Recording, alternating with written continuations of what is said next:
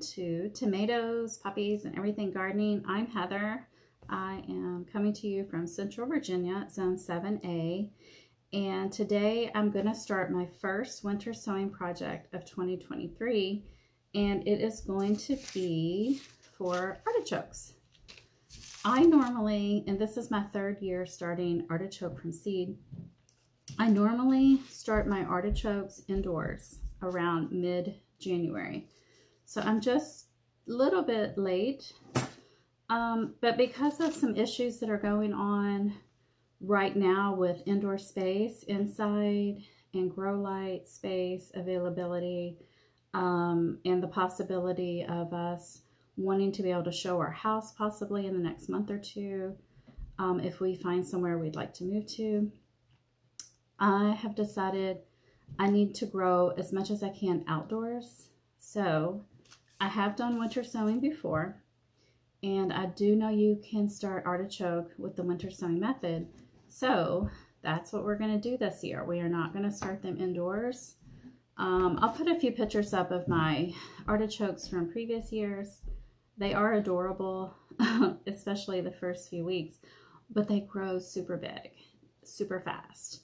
And, you know, gosh, how many did I start last year? Five. They took up almost a whole shelf of my indoor growing system that I had set up last year um, in the bay window behind me. So I don't want to devote all that time to them. So we're going to try this. I've never winter sown artichokes, but I've had great success um, with doing indoor artichoke seedling starts. Um, so in the previous years, when I started traditionally indoor method with like, you know, soil and little cups, I did the green globe. But this year, since I have limited space here on my property and I'm not sure where we'll be when these are ready to be harvested, which is about 80 to 90 days um, from transplant into the soil. Um, and they will not be transplanted until it's warm outside. Well, I'll back up on that and we'll talk about that when we're actually putting these into our little milk jugs. Um, you do have to give artichokes a period of cold weather, but not freezing weather. We're talking 45, 55-ish range for, I'm thinking it might be 14 days. It might be a little bit longer.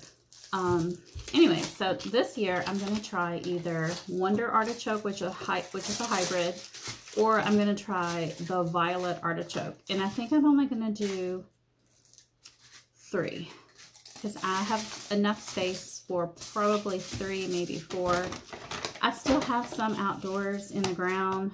I do not think the ones I grew last year in containers survived, but I should have two that come back up as a perennial for me that were uh, grown in prior years. Um, so let's get started. I'll show you what tools I've got. Um, I'm just now getting started because, well, this is my first winter sowing jug of 2023. Haven't done this since last January, February, March. So you just need a jog that's opaque or clear. And you need some type of device to put holes into the bottom. Uh, last year I kind of got into the habit of using a glue gun, but I've probably ruined it, um, but it'll still work for my purpose. Um, oh, I just ordered this from walmart.com. It's only, it was six bucks. So this works great. It's a soldering iron and I used my husband's last week for something garden related. Um, what was it? I can't remember. Anyways, it worked great. So I went ahead and ordered my own. And sometimes what I have done in the past is I just put a drill bit the size of the hole I want and use a drill it's a little more clumsy that way. I prefer just to use a heat method just to pierce. The only thing is this is kind of a small tip. You can buy some that have different size tips, but I just wanted to get something cheap because I know I'm going to be putting plastic on it. Didn't want to invest a lot. Um, oh, and duct tape. So some type of tape that is going to provide a really sticky, strong adhesion because what you're going to do is kind of leave this area of the milk jug intact. And then you're going to cut all the way around so that when you open this and flip the top open, it still stays attached back here at the base. And then you're going to fill, after your holes are uh, put into the milk jug, and we're going to do this here in a few minutes, step by step together. Um, you want to have about three to four inches of soil in there. And you want to use a really high quality or the best you can get potting mix, not garden soil, not anything that's real dense or uh, full of wood chips or bark or mulch.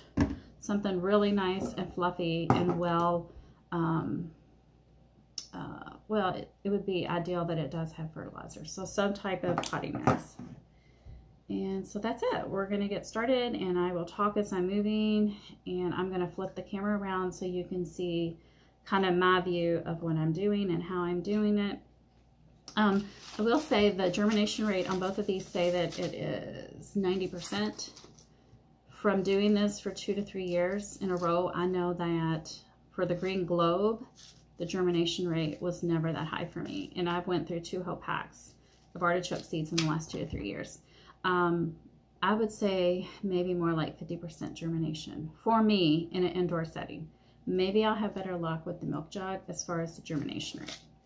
So this is going to be a fun experiment that we can do together and uh, follow along. So I will flip the camera and let's get started. Okay, so that soldering iron thingamabob is smoking. So I think we're ready. And I brought in some dirt from outside. Had a bag delivered the other day and it's been sitting on my front porch. And I do not recommend it. It was called um, Back to Roots Organic Soil from Walmart. And I'm going to go ahead and use it today for my artichokes. I would not use this for anything that's a real fine little seed, um, I'm really disappointed. It's very barky, chunky, mulchy. You can see these big chunks. This is not good. But the artichoke seeds are really large. They're really strong. They will pop right through this. So I'm okay with this for right now. But I am going to, um, I think I'll use that bag of soil to go mulch my alpine strawberries that I've been meaning to do this week. And um, I've got some more dirt out in my van in the trunk so we're good. It's just for right this second for this demonstration and recording I feel okay to go ahead and use this um, just because I know the artichoke seeds are really big and I think they can push through okay I did do a test um, hole there a few seconds ago and I think that's why the little um, soldering device was smoking because I had done that. Um, I went ahead and cut. I left the back intact, so we have a hinge. And I cut all the way around with a knife. You can do that however you feel safe, uh, safest. I use like um, just a steak knife, but I want you to use whatever you feel most comfortable and safest using because I don't want you to cut yourself and be like, oh, well, Heather said use a steak knife and it would be perfectly fine. Um, do whatever is safest for you and your dexterity and all that good stuff. So what I'm going to do right now, I'm going to put at least mm, nine to 10 more holes in there and then we will start adding the dirt. Okay. So this is important. You do not want all of your holes on the very flat surface of your milk jug bottom. You want to add some holes kind of in the raised up ridge area, if there is one, and then also off to the side. Because if you have this on a flat surface and you cover up these flat holes that are on the very flat uh, surface of this um, milk jug, you're not going to remove a lot of the liquid and you don't want your seeds to sit in water. So I added some side holes and then also some up in the ridge area. Okay, so now we're ready to put the soil in and make some labels. Here's an inside view. I did quite a few holes, more than what I told you originally because they are rather small and I wanted to make sure my artichokes had really good drainage because they like moist soil, but they don't like damp, waterlogged soil. So um, that's what's going on. And remember, we're creating like a greenhouse effect. So it is going to have condensation and moisture naturally building up inside. So we want lots of good drainage. I went ahead and made my label. we're going to do the violet artichoke. I'm going to put two seeds in this container and with the hope that at least one will germinate. The soil is already moist because it arrived that way when I ordered it. It was a delivery order and um, this was supposed to be, it was sold as indoor slash outdoor potting mix, uh, organic. It had really good reviews, but I'm going to tell you guys, please don't buy it. I mean, unless you want mulch. Look at this. I mean, I guess I have medium-sized hands, but look at that big chunk there. Now, I would buy this if I wanted to go mulch some plants um, with a nice, like, fertilized soil that is just super chunky. And I do use stuff like this for that purpose. More of like just kind of uh, weeding and mulching around my plants. I'll use something like this, but I do not recommend starting seeds in this. But I'm going to go ahead and see what happens since this is what I have ready to go right at this moment. And um, I think the artichokes will be able to push through and do okay. But this is not ideal. I mean, this is not ideal at all. Okay, so I think even though the soil is moist, it's not um, moist enough for me. So I'm going to add just a little bit of spritzing with my water bottle, and then we're going to put the seeds in.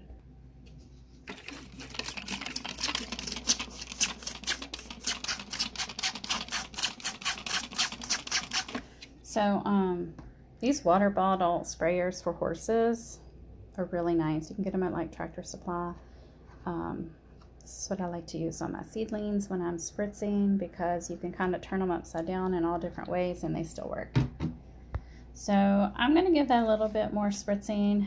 I'm going to put the seeds in. I'm going to show you the seeds first because um, maybe you've never seen an artichoke seed. So let's do that. So the violet artichoke seeds are not as big as the globe artichoke seeds, at least from my memory, and I could be remembering wrong, but I feel like those are so much bigger. These look kind of small. Um, so for planting depth, I have not researched this yet. I should probably do that, but I'm not because, you know, I'm very impatient sometimes. And I think what I'm just going to do is about double uh, the seed width there as far as planting, maybe come up just slightly. Um, I always think it's better to err on the side of being a little too high or closer to the soil level than too deep. So I'm just going to stick these two guys in there and see what happens. Um, hopefully they will germinate. Oopsie. All right, so we'll just let that guy be there, and then we'll let this other guy be right there. If they both germinate, that's great, and I'll figure out what to do later as far as will I separate them or leave them both in this pot. I don't know. So I'm going to push it down slightly and I'm just going to cover it a little bit. I don't want to make it too hard on them since this soil is very chunky. Okay, so now it is time to stick our label in. And what I like to do is I stick my label kind of like towards the very back where that hinges so that it's kind of protected from the sticky tape. Okay, so I applied my uh, duct tape all the way around. Actually, I did almost like one and a half, two layers all the way around to get a nice seal. I prefer to use kind of neutral colors of duct tape, but you can use whatever you like. I just don't like to see a bright contrast. I like it to kind of blend into the milk jug so it's not as, I guess, in your face. I don't know. Um, so that's it. We're done. This is ready to go. Um, after I end the video, I will write the name and the date probably on the other side as well. We do have the tag in there. And you can see the artichoke seeds are still covered. You want to leave the lid off. And I think I'll make another video on winter sowing later and we can talk about what to do if you have seedlings that are growing and you can see them, they've sprouted, and you get a, a hard freeze or really, really cold weather, what are you going to do? Um, so we'll talk about that later. but I'm excited. This is my first jug of 2023. So stay tuned, guys. Follow along. There, I've got so many seeds we need to get into jugs.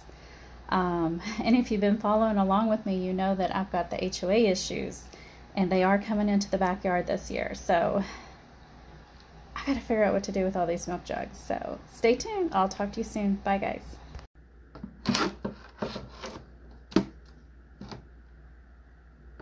Do y'all see that smoke? This is one reason uh, I may not actually like using the soldering iron I don't like smoke and I don't want to start coughing. So maybe this is an outdoor job for me. Um, I don't know. This milk jug has a different bottom. So you definitely want to add your side vents um, for one that is flat like that on the bottom.